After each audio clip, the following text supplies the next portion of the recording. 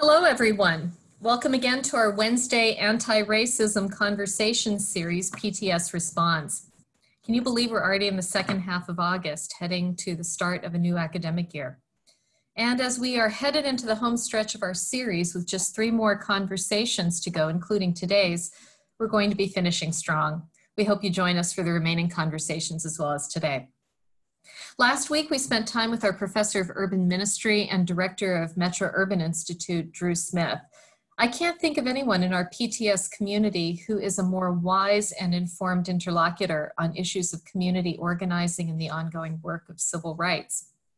We spent time talking about the challenges of being an ally, particularly the hard work of sustaining alliances and moving past the solidarity theater, as he called it, of standing with in the heat of the moment and digging into the long term internal and external shifts required of long term cultural and social change. We talked about the power of the tool of disruption for those on the margins who don't have access to the resources and power of institutions and institutional membership. And for those of us who are white and claim a commitment to racial justice, we were challenged once again by the words of the Reverend Dr. King from 57 years ago as he named the problems with liberal self-confidence and the gradualist instinct that stalls the work of justice in his letter from a Birmingham jail. And yet we know that the work of justice requires a variety of tools and approaches, an ecosystem, if you will, of different people using different levers to effectively cultivate social change in their unique contexts. In short, it takes a village. And the vision for justice remains a shared commitment, but the approaches need to differ based on where people are in their journey of awakening to the need for change. Which brings us to our conversation today.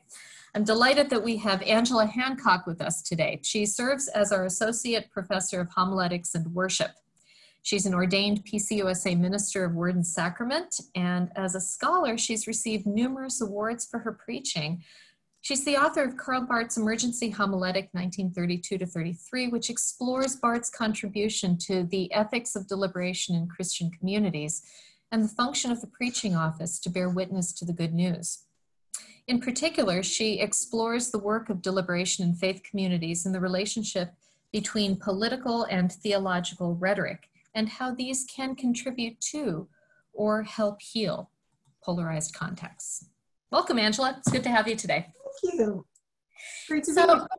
Excellent. Our, our topic today is about bearing faithful witness in polarized communities. And that undoubtedly is going to speak to the hearts and commitments of so many of our participants today, whether we're talking about their families or their church communities or their neighborhoods and social groups. Um, it's gospel stuff, it's public stuff, it's political stuff, but it's also deeply personal. So let's start off today by exploring how you came to be committed to this work and how you came face to face with these challenges. Yeah, I think um, where it started for me is in in my family of origin, in my extended family, and um, my husband and I are the only progressives in a in a sea of very passionate um, conservative and libertarian um, politically oriented um, family members. And I think um, it's the experience of trying and failing so many times to be able to have fruitful conversations across those differences, which, you know, one of the things that we do all share in this in our family is a commitment to Jesus Christ. We're all Christians. We all read the same Bible. We all sing the same hymns. We all uh, go to church and engage in the same practices.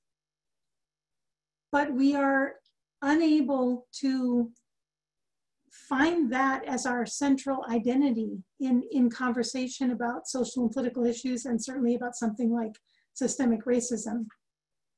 And so I think, um, you know, that remains a deeply painful reality for me. I think polarization is not just a statistic, and certainly looking at polarization in the church is not just a statistic for me, but it's an ongoing kind of wound, I think, that um, that draws me to keep investigating and trying to figure out um, what a way forward might be. Um, and at the same time, my research, as you mentioned, has been focused, um, at least in part, on another time in history where you had a, a democracy in some peril, you had deeply polarized um, political scene, and you had a Christian church that, for the most part, um, in spite of you know a degree of misgiving about some things, supported a, a racist nationalist political leader because they thought that this was what God's plan was. They thought this is what would save Christianity. And so, um, yeah, the, these, these things have come together for me and, and thinking about what it means to engage in anti-racist witness in relation to those kind of polarizing realities, political realities. Um, yeah. It seems to me then um, you're describing yourself as, as kind of standing in a liminal space in between two deeply held commitments. One is to this understanding of beloved community, of the liberating witness of, of the gospel, and the other hand, the deep love you have for your family. Mm-hmm. So you're kind of in between those two things. And I'm guessing that that's a space a lot of folks can relate to, um, especially as they find themselves perhaps leading communities and holding very different commitments and witness to the gospel themselves than their the folks in their congregations or yeah. families might be might yeah. be accepting. So um, in our prep conversation, we're talking about about polarization. Um, you talked about how we are all malformed by it, which is, I think, another way in which you're the in-between place you're standing is is super interesting. Um, why don't you spend a little bit of time talking about some of the concerns you have about, let's say, well intentioned approaches to anti racism um, that many people engage in, but that you understand as contributing more significantly to the perpetuation of the division rather than healing it? Yeah, or at least um, that in some contexts, the some of the rhetoric that comes out of schools of you know anti-racist or anti-bias training have themselves been politicized mm-hmm. so that if i am in a in a church where it is there is a diversity of political views and i might actually do i'm going to share a slide or two um, okay. just to to get this landscape before us let me see if i can work this magic and as you're working that magic, just remind our participants that the Q&A and chat pods are there for comments and questions. I'll be checking them regularly as the conversation goes on. Okay, can everybody see that? We're good. Mm -hmm. Good. So um, if we think about the dynamics of polarization in the United States, um, polarization refers to this uh, totalizing of political identity such that it becomes uh, that the, the thing that political scientists measure is your feelings of antipathy toward people who are associated with the opposing political party or political orientation ideology.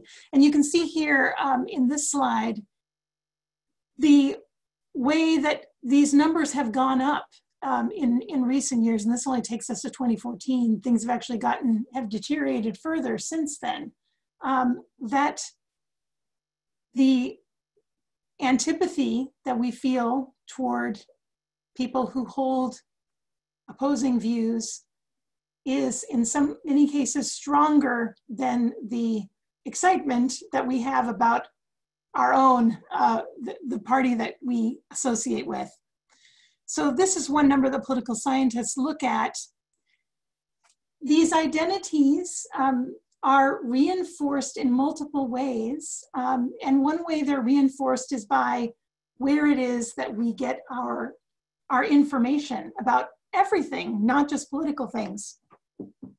And so um, you may already be familiar with these statistics that people who who strongly identify as um, conservative or Republican or even leaning in that direction are getting their news and information about the world from a very different source than people who understand themselves to be progressive or, or, or liberal or democratic.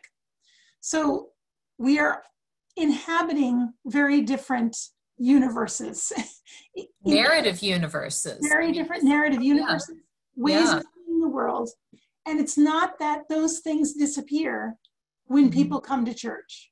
Right. Right. So um, this this is reinforced right by the choices of who we associate with the phenomenon of you know what are sometimes called enclaves or echo chambers that that um, people increasingly choosing to live with people who see things the way that they do to have friends who see things the way that they do mm-hmm. that these are things that make it harder and harder for us to have those kind of conversations about political and social issues, about something like systemic racism, um, because of the ways we've been insulated from each other. Um, right. Let me take us even a little further here. So now we may have, um, and, and some of the people listening may be leaders in churches where people do all have the same basic political orientation. The, the mm-hmm. church community identifies itself with a particular political stream or stance. Um, and, you know, there are, you can think probably right away of some churches and some traditions where mm-hmm. that is that is largely the case. What I'm most interested in uh, trying to think through is what about this other situation, a congregation where you have a diversity of political views, but where none of these kinds of issues are discussed openly mm-hmm. out of fear that this will result in, you know, kind of worst case scenario in the fracturing of the community, right? Mm-hmm. And there's good reasons for people to fear that um, you know, when I talk with people in congregations about why is it so hard to talk about some of these things, right? And what are your fears when you imagine sitting down with someone who who doesn't have your same sort of political orientation and opening up some of these things in the church? The fear that's named often has to do with that will that will mean the end of this church if we start opening up that wound and, and getting in there. So in an avoidant congregation, there are powerful reasons, both for people who are in that congregation, but also people who are leaders in that congregation, just not to not to do it, not just not to have the conversation that I think we need to have. And and I believe that, you know, white Christians need to do this work, that it is our responsibility to do this work but how can we best do this work in the situation where people are so afraid of even talking about something that has become affected by these dynamics of polarization. Um, so that's that's the that's what I've been wrestling with. Um, I think this is an interesting statistic to consider as well. Um, you know, where do we see resistance to having these conversations in a more general sense, but certainly including things like systemic racism, um, where you see that resistance is in um, white Protestant and white Catholic churches. They should keep out of political matters. This is not this is not what church is about. Places where you see openness to this, willingness to engage, tend to be more homogenous in relation to social and political issues. I'm looking at historically black churches, I'm looking at evangelical churches, right, which understand engagement with politics to be part of who they are, and everyone in the community, um, not that there isn't diversity of views within commitment and vision. So this is why I think it's important for um, for white Christians to be aware of, of these dynamics. Mm-hmm. And I'm going to skip through um, just briefly to say, again, it's it's white Protestant situation that where we are right now, who are whatever reluctance they might express, there's still a willingness to support um, a president who engages in in not just racist rhetoric but racist policies. So um, I think this is the landscape we need to attend to, right? If we're gonna if we're going to um, if we're going to be effective about this. Yeah. So, and this is so interesting too. Um, I'm, I'm thinking back to the one of the slides where it shows that um, politically polarized communities get their news media and storytelling from very different sources. So there's a kind of unified story within those communities. And I'm thinking about the sharing of a common story that happens in a church community and how that can be leveraged. So, so, so what, what is a church leader to do um, to lean fearlessly, or at least with appropriate trepidation, into these um, avoidant congregations? It's a whole lot easier to preach to the choir when you've got a, a, a, congregation that is all on the same page politically, theologically, and otherwise. But right, and I think you know it, that some of in, in, it's not to say that uh, you know in those congregations that there still isn't anti-racist work to be done, right?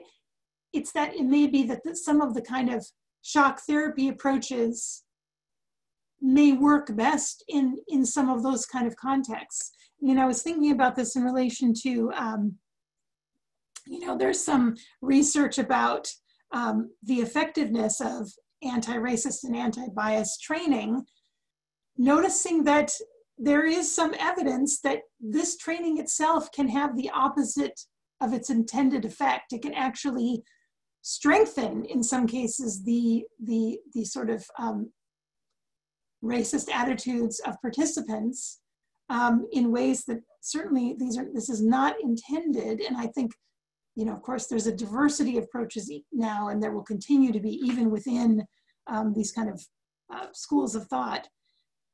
But I think about language that um, that has been helpful to many of us in thinking about this, and the way in which some of that rhetoric has itself now been politicized. I mean, I did a little digging around just to see um, on Fox News um, site if you do a search, you know, there are 314 articles about white fragility. And, you know, this, this is to say, uh, these are, these are overwhelmingly negative presentations, right, of, of what this language is about. Um, Anti-racism training, 700.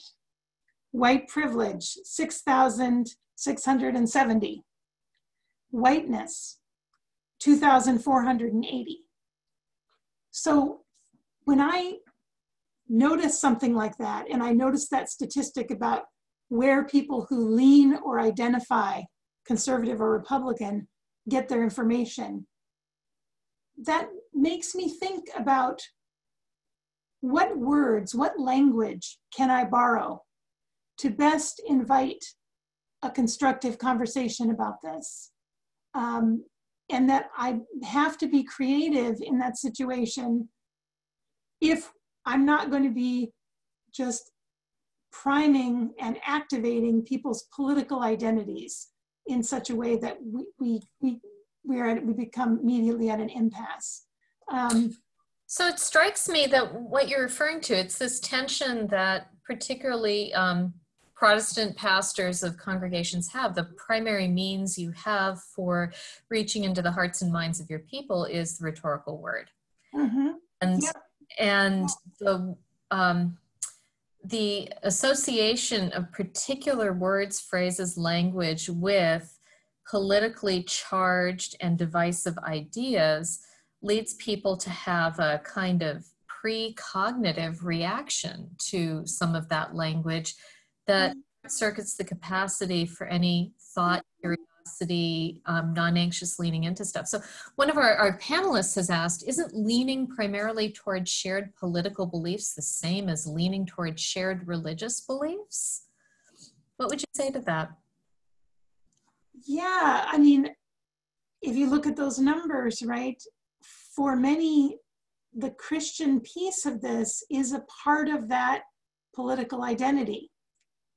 Uh, if I mean on the right, this you know, I mean I, I got this. I got an email forward from a family member um, in the last week or so that is um, that's naming explicitly. I mean, at the end of it, it says. Um, I believe Trump is our miracle. No one is saying Trump is perfect. No one is saying Trump is a perfect conservative, but he's a patriot. He's a warrior. He's a capitalist. He's the right man at the right time. Yes, he's a bit rude and crude and offensive, but that may make him the perfect warrior to save America, American exceptionalism, capitalism, and Judeo Christian values. The choice should be easy for Christians. It's Trump or it's the end of the American dream. And you can see these things are just merged together, right? And so piecing some of this apart involves even thinking through what, you know, how nationalism plays into this, white nationalism, how this under this thing, the American dream, bringing that into conversation with what the gospel is. Um, so these things are conflated, right? And I think, you know, I mean, I identify with the progressive, I mean, I'm a political junkie, I'm, I'm on board. And I, of course, believe that the gospel, that this is, this is in important ways a more faithful response to the gospel, right? Or I wouldn't, I wouldn't, I wouldn't vote in that way, right? So I mean, yeah. So i think it's it's all right. So but i mean somewhere at the heart of this there there's a there's a really complex uh, layered and and and freighted conversation. Yeah. and how do we even begin to have that? So how do we? Okay. you, you know? Yeah. And, and i i think you know i think when you first asked me, you know, can you give a list of things? And I was so resistant to that, right? Because I do think it's it's a time it's a messy thing. It, it requires improvisation and creativity, etc. But I did I did try. I, I do have some things I think are um, I think are helpful. Um, I think part of um, impo- important piece of this work is getting to the place where you can even find out in an avoidant congregation what mm-hmm. do people here actually think? Yeah. You know because you might be surprised. I mean the mix might not be what it seems to be because people are so careful. Um, and so how is it that you can build the kind of relationships of trust where you can find out some more about where people are? Um, you can also i think investigate a bit with the, the artifacts that are available to you, what is the sort of history of conversation in this place about mm-hmm. things like racism? I mean, how have they navigated other controversial kinds of things in the past, if mm-hmm. at all? So, mm-hmm. trying to learn more about who the people are that you're serving, um, especially which can be really challenging, right? When they aren't going to want to necessarily identify what their political allegiance is. Um, and some of this you can signal, right, by the way in which you are open about your political allegiance in such a way, right, that it makes it clear that you you want to talk. Um, mm-hmm. I think that's that can be a challenge. You know, it occurs to me um, as, as, we're talking about this. So the the primary toolkit of the preacher is is rhetorical, and in many ways higher level thinking and speaking about um, the, the theological warehouse of which they are a steward. But so much of what you're talking about begins with a kind of deeply felt emotional reactivity that, yeah. triggered and like we said before short circuits the possibility of rational conversation by beginning with building these trust relationships with people you're starting at the bottom of maslow's hierarchy of needs in the Yeah. like that is the most basic thing to build these trust relationships because it occurs to me that so much of this defensiveness people are coming up with as they um, hunker down into their trenches is based in fear and lack of trust Mhm. so Mhm. beginning with leaning into and doing the hard work of building trust, being curious, listening to people, that does feel like the right place to start. Yeah. Even though it cannot be the ending. Oh, right. It can't end there. But but Right. right. And I think about um, you, you may know the um, that the, there's a famous TED talk by Megan Phelps Roper, um, who's someone who left the Westboro. She was raised in the Westboro Baptist Church, right? But Yeah. she and she came out of that that you know sort of hate-filled, um, melded with Christianity situation. Um, and and if you haven't seen it, I mean, it's well worth seeing. I mean, her story of leaving that is about some people, you know, starting on Twitter Yep. who stayed in the conversation with her, who would mm-hmm. not be dissuaded by her own aggressiveness and right, who stayed in there steadily, who listened, who tried to understand, and who were also open about the re- not assuming that the reasons why they had the convictions they did were obvious to her. Um, Mhm. and so, yeah, I think staying in there.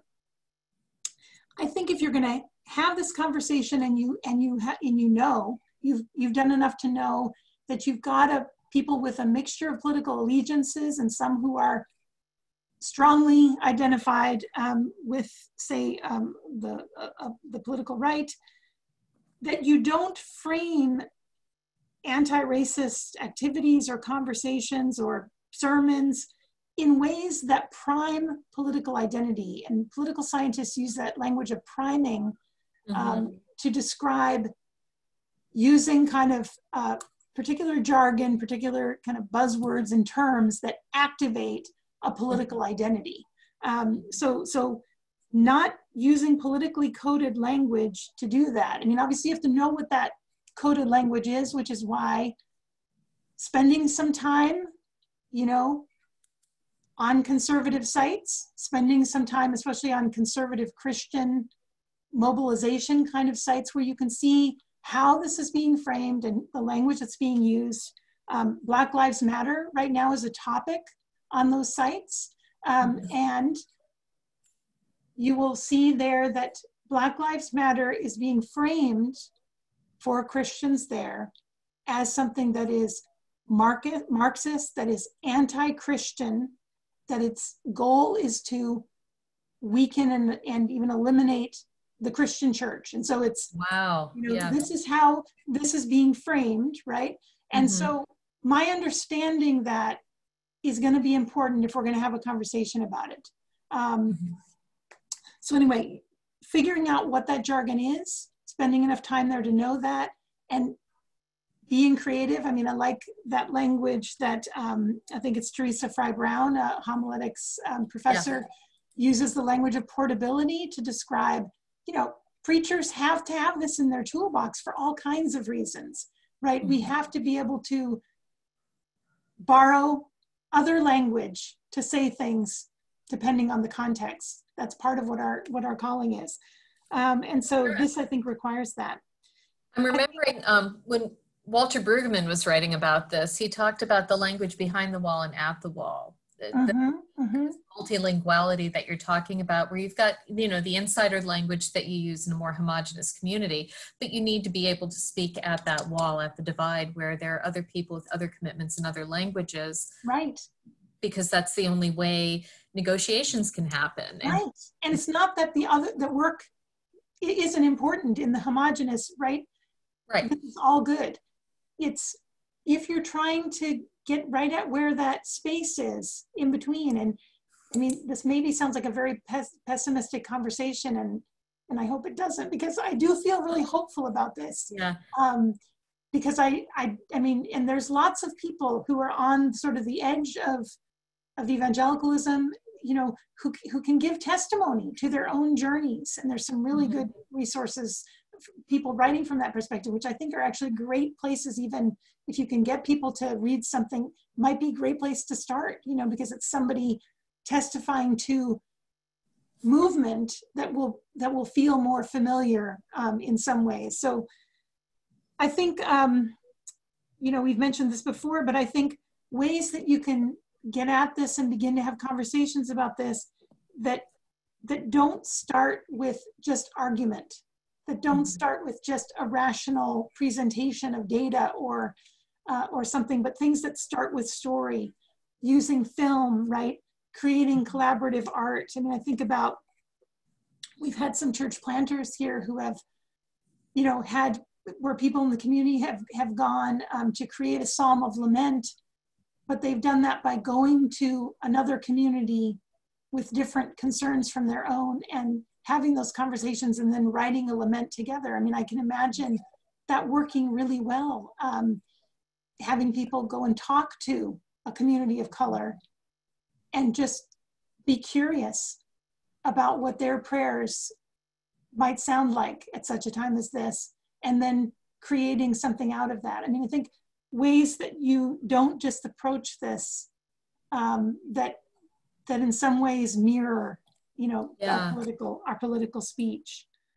Um, So we've got relationship building with trust and curiosity. We've got deep attention to language and um, the ability to become multilingual to help pivoting and nimbleness in using the right language to, to be with people at a certain time. And now you're talking about, about practices that involve art and imagination.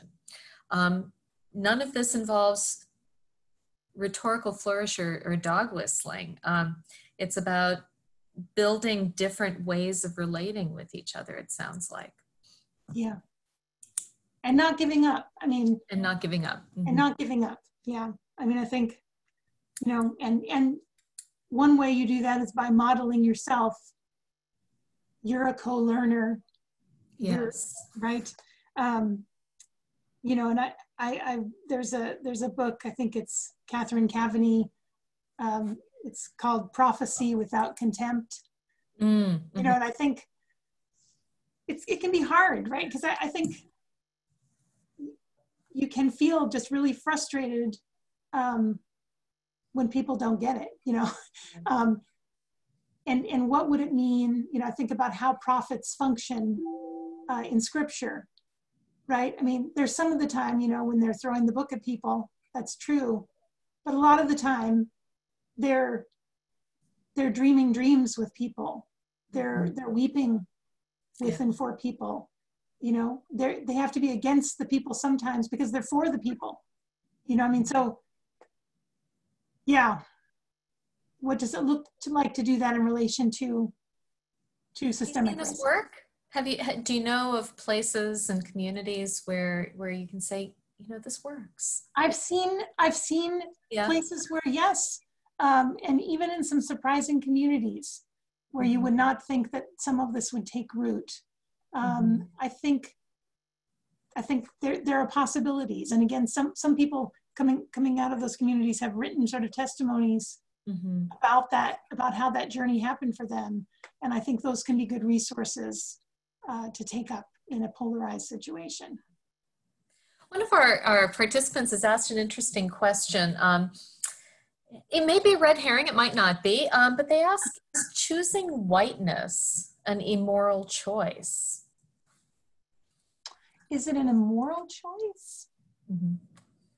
I mean, I'd be curious to know more about about that question, Yeah. right? I mean, I think I don't know if this is getting at um, questions about, um, you know, race as a construct, you know, Mhm. or if this is Mhm. maybe thinking about, you know, how what are sort of the ethics of communication and and what our what our ethical responsibility is Mhm. either to name this because this is what truth telling looks like or to find another you know whether finding another way to name it is an important dimension of truth telling i mean i, I don't know I, I'd be i think it's i do think it is a really interesting question It occurs to me that absolutely. I mean, digging deeper into it would be, um, I think, a really important thing to do. But at the end of the day, what we're talking about is communities um, that are ostensibly formed around an understanding of, of, you know, in some traditions called perfection or holiness. This idea Mm-hmm.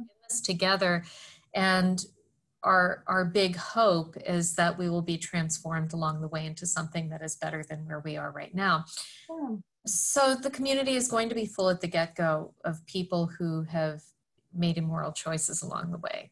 Um, For sinners. I mean, yeah, yeah, yeah. And in, indeed, we, we were talking about this in our prep conversation. You know, thinking about Jesus's own crew of disciples, you've got in the same group a zealot and a tax collector. right, That's some pretty edgy stuff right there. right. And you know, what? I mean, and we've talked about, I mean, the tax collector is a really interesting one to contemplate, right? Yeah. Because this, what we see, you know, and we don't get like a big, we get the one tax collector arc, right, with Zacchaeus. We see him make a big vow, but we don't, we don't know what happened. They all, we don't know how their stories end, right? We just know that Jesus is always having dinner with them, Mhm. right? Not giving up on on having that conversation. And so, yeah, question is um, if somebody has chosen whiteness um, you know in in in the ways we suspect the question is being asked um, that that in itself may be an immoral choice the question I, I, I think would be whether the the church community continues to encourage the choosing of whiteness as a superior place to be Mhm, um, mhm. rather than choosing a way of being that that honors the full dignity of of all people right. And I think I think it's an important question to ask. Do we need that language or or some or some language like that Mhm. that helps people to see what is invisible? And I think that's you know that's some of the things that anti-racist work has done so well is to make the visible the invisible visible right for many and so and there may be other i mean you know the metaphor of the backpack. I mean there may be Mhm. there may be other metaphors that that can help accomplish um, making that invisible more visible. And you know i think there may be uh, times and places along the way where if you can if you can make some steps you can make some more steps. And there can be you know there can be a wider range of possible conversations you can have um, that's my hope anyway So How does this not um, fall into the category of the progressive gradualism that King was so yeah patient with? Yeah. Um, you know, it, it feels like what we're trying to do here is make an argument for the very thing that King was pulling his hair out about in Letter from a Birmingham Jail. Mhm, mhm. In jail, Yeah, well, I mean, I think if I think about what would it mean in a context, in a context where an avoidant, politically diverse situation, Mhm. I mean, I can just say, here's how it is. And some people will see it and some people won't. Yeah. And then I can wipe the dust off my shoes Mhm. and go on to the next town. Mhm. and I think there may be times for that. Um, But I think again about those meals with the tax collectors. Mhm. I- Are there times when, rather than end the conversation, God's Spirit leads us to stay there and struggle? Mhm. So, I mean, I, I think these are important questions. Yeah, you know, the uh, so questions are coming up about the the function and character of of dialogue. Um, this is probably the most robust set of questions that we've got Woohoo! conversations. Yeah, go Angela. Um, so, you know, one person's asking, do we believe that dialogue, which allows pe- allows people to exude empathy and say their truth, is the best approach? Are we talking about beginning with storytelling? Um, what about talking about the hard truths that are part of the church's legacy? As one of our listeners um, points out, even lynching is a part of the church's legacy. Yeah.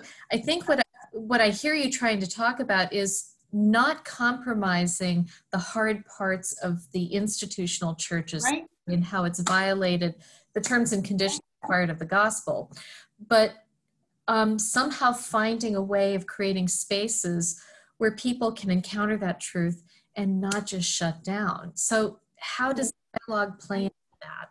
Well, I actually think, you know, looking at a particular incident, perhaps something slightly more distant in time mm-hmm. of, you know, a, a, racist act, a racist policy can mm-hmm. be a place where you could begin, you know, because there's that little bit of distance where you might be able to keep somebody in that conversation. Mm-hmm. Right. I mean, um, yeah, I mean, Helen, could you just say the beginning of that of that question or comment again? So somebody was saying um, that they're concerned about the fact that lynching is part of the church's story, and we can say, yeah, we're all sure. Yeah. Um, but how do we not? I'm going to use the phrase intentionally: whitewash mm-hmm. Mm-hmm deeply painful and often evil nature of some of that institutional sinfulness. Right. Telling right. the truth, but in a way that also stays connected to people um, in the ways that you're talking about. That's that's a really hard thing. So that you know the, the prophets, as you mentioned, do name the hard truths because they are against the people sometimes because they are for the people. So I think folks are trying to tease out what that space looks like. Yeah, I mean, I think it's a messy space, right? And I don't think it means that you are not going to name not just this history, but the ongoing nature of this. Yeah. You know, um, I think it's how are you going to name it? Mm-hmm. You know, and and it, it, there's not a formula I don't think that's going to guarantee that you're both going to be able to keep everybody in the conversation and you're going to be able to name it. But I think there may be, in a particular context, and the person who can do this best is the person who is in that context and knows those people, mm-hmm. where I can think about what would be the way that is going to be, that is least likely to trigger yeah. and prime political identity and most likely to get someone into that conversation that can end up being transformative, right? Mm-hmm. And sometimes engagement with history, sometimes engagement. I mean, my fear about using directly in that situation, you know, statistics, mm-hmm. is that I know what the research says about when political identity is primed, the way people respond to yeah. statistics. I mean, we're all we, and it's it's true in the right and the left, right? Yeah. Once that identity is primed, we can read something that gives us all the statistics about a view we don't believe, and we won't we don't believe it. The statistics don't matter. So I mean, trying to figure out, and I, I do think the story, the narrative, um, and and of course preachers can do this in the stories they tell, mm-hmm. in the true stories about that they tell about the past and the present, in in ways that can be more effective than you know me directly railing against systemic racism in my, yeah. in my sermon. You know, I mean, I, which which is exhausting and can feel shaming too. Um, as one of our, our participants has said, maybe asking people about their concerns and worries, which I think relates to the first point you made about relationship building with trust, yeah. curiosity, um, is a way of leaning into these conversations mm-hmm, that mm-hmm. can um, can tell the thing that triggers the fear, I see you. And, and we're going to make a space and we're going to talk about what scares you and what, what you're worried about. Yeah. Be together and I'm going to, I'm going to hang in there with you. Right. And I think, you know, I mean, part of my wider uh, research project right now has to do with the practice of deliberation. Right. That mm-hmm. as an important Christian practice that it always has been a part of. We something that we inherited from Judaism. It's part of our, it's part of our, um, Yeah. been part of what Christians have done, being more intentional about exactly what you're describing. Can we covenant together to stay in a hard conversation together, Yes. knowing that it's not going to break the relationship. Um, because again, in, in churches that are politically divided, that is what they're afraid of. And they're Yeah. right to be afraid, right? Because they saw what happened in the church down the street. They saw Yeah. what happened in denominations where we came to impasses about a social or political issue and Yeah. people separated. And, you know, Mhm. this is Yep. church history. Yeah. Right? So, I mean, they're right to be afraid that that could happen in the, in the sense that it might, you know, I mean, um, I think it's, it's worth the risk, but I want to take the risk being creative about what might give me the best shot of, of keeping people in that conversation in a way that's transformative in the community. One of our one of our participants points out um, the value of, of the sacraments and liturgy, perhaps Mm, mhm. as providing connective tissue. Um, they ask, so how could the Eucharist become our living place of confession, not just once, but over and over again? Because Jesus says, "Do this in, mem- in remembrance of me." It's the crucifixion. So talking about and remembering who is crucified today, and and gathering Mhm. in all of our diversity. Um, I'm remembering the, the lectures that Jamie Smith gave on the importance, but the fraught nature of practices. Um, Right, and there's a response to that, you know, the, the, the, I can't think of her name right now, but you know, the damage of Christ, the damages of Lauren Christian. Winner, yeah, the Right. danger of Christian practices. That Read, I think. a practice, uh, you know, that's a, that's a gift from God, Mhm.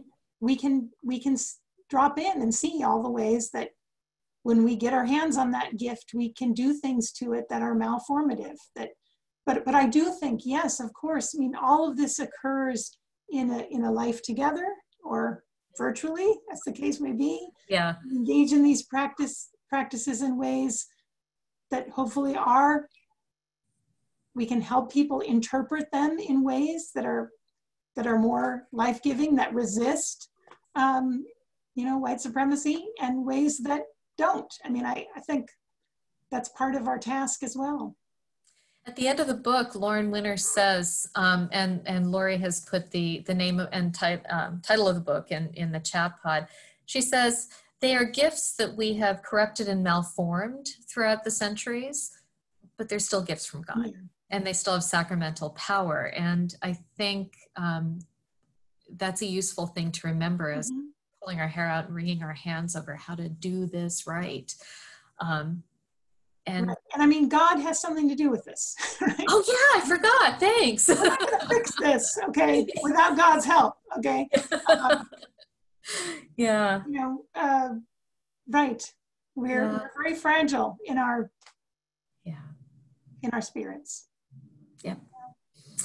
Any final words you want to give people as charge and benediction as we as we leave this conversation, which has been wonderful, and I'm I'm so glad we had you on. Well, thanks. Thanks for asking me. Yeah, I mean, I would say don't give up. Yeah, Don't give up. You know, be curious, be in relationship. find out who people are and don't and and get in there and Yep. and even if you it blows up, Yeah. Stay in there. You know, love goes a long way. Um, I don't. I don't. There's not an answer.